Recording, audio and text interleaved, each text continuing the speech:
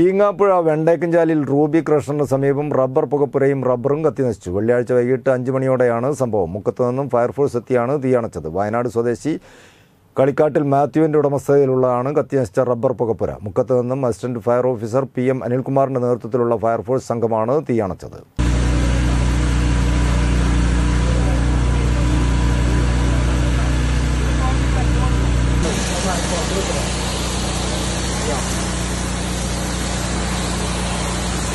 还是那个吧还是那个吧